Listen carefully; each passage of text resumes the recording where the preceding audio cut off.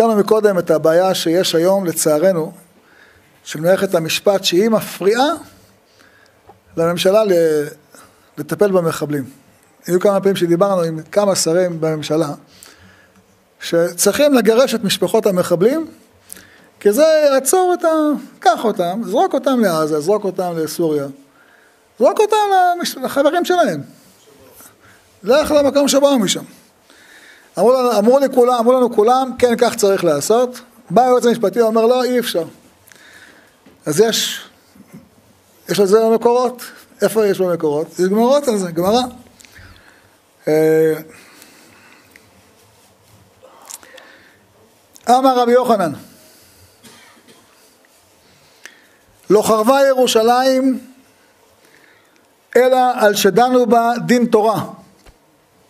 אמרת הגמרא, רגע, אמר לך, מה רצית שידונו?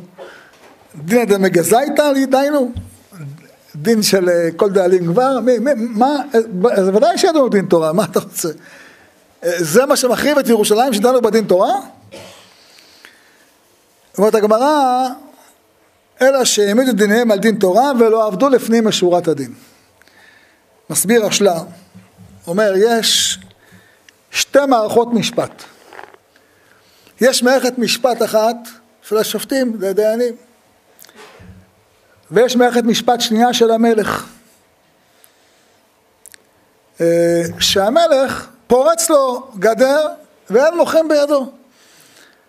בא המלך ורואה שאם המערכת המשפט לא עובדת כמו שצריך, ולטובת עם ישראל צריך לעשות משהו כנגד מערכת המשפט, כך צריך לעשות. אומר, זה הפסוק שאומר, כי שם ישבו כיסאות למשפט, כיסאות לבית דוד. יש כיסאות למשפט, זה מערכת המשפט, ויש עוד דין המלך, כיסאות לבית דוד. שם המלך קובע את הדרכים, מה צריך לעשות, כן? כל אחד בפני עצמו, ואם לא ייתנו למלך לפעמים לפעול כמו שהוא צריך, חלילה תחרב ירושלים. כי המלכות בנויה על זה שהמלך כשהוא מבין שצריך לעשות מעבר לחוקים שיש, שזה גם עוד קושייה החוקים האלה חוקים כמו שצריך, אז אי אפשר להנהיג מלוכה, אי אפשר להקים מדינה. על זה חרבה ירושלים, כך כותב השלה, מסביר את הגמרא הזאתי. אה, אה, וגם אומר, גם בדין כתוב, אומרת הגמרא, גם בדין לפעמים עונשים שלא מן הדין, כשרואים שהשעה צריכה לכך. כי אם אתה הולך לפעמים על פי כל הסעיפים הקטנים, אתה בזכות הדברים האלה יכול לשחרר רוצחים, יכול לתת להם, אה, לרחם על המשפחות שלהם, להגיד מה הם לא אשמים, אה, איש אחד יחטא וכל עדה תקצוף, כל מיני תירוצים כאלה, בסופו של דבר אנשים נרצחים ברחובות, ברחובות ארץ ישראל. וכבר לצערנו ראינו כמה וכמה פעמים איך מערכת משפט עם קוצר ראות, עם קוצר ראות, מביאה אסונות, אסונות של שפיכות דמים. אנחנו רואים את זה באירוע הזה, ורואים את זה בהרבה אירועים אחרים. ש... המחבלים יורים טילים, לא בודקים אה, איפה, אה, יורים 400, 600, 700, טילים בלי סוף.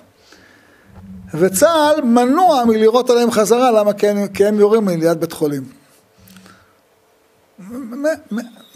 מאיפה החוק ההזוי הזה? מאיפה, מאיפה, איזה מדינה בעולם נוהגת בחוק הזה?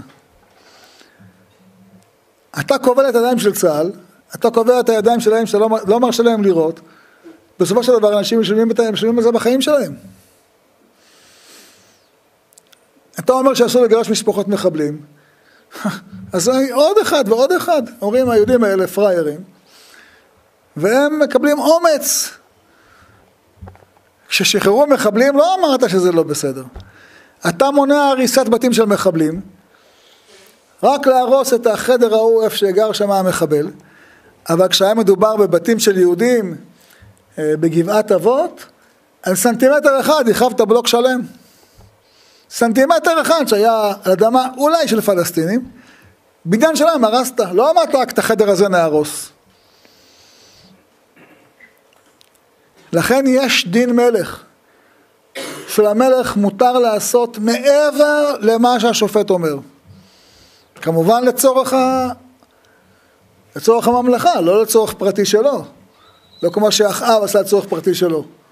עוקף את החוקים לצורך פרטי שלו, כדי שיהיה לו את שדה נבות. חס ושלום, זה כוח מיוחד שניתנו למלך כדי לשלוט בו, כדי לתקן תיקונים לצורך המדינה. אז גם אם יש אדם שדה פרטי, פורץ לו גדר, עושים כביש, אתה מפקיע אדמה, למרות שלא לפי דיני קניין, כי זה טובת הציבור. אז יש דין המלך, כותב השלה, יש שני דינים, יש דין של השופטים הרגילים, שזה ביום יום, שבלי זה מדינה לא יכולה להתקיים, ויש דין המלך, שהמלך פורץ גדר, ולמלך יש דרכים מעבר לחוקים הרגילים, כדי לתקן תקנה לטובת הציבור, וזה גם דין יש לדיינים רגילים. אני אומר את הדברים האלה כדי שנדע את הדברים שצריכים להתפלל עליהם בימינו ולתקן אותם בימינו, כדי שחלילה לא יקרה מצב שאנחנו נעמוד שוב לפני, נצטרך להיות אה, חלילה בהלוויות של עוברים בני, שעוד לא, לא נולדו.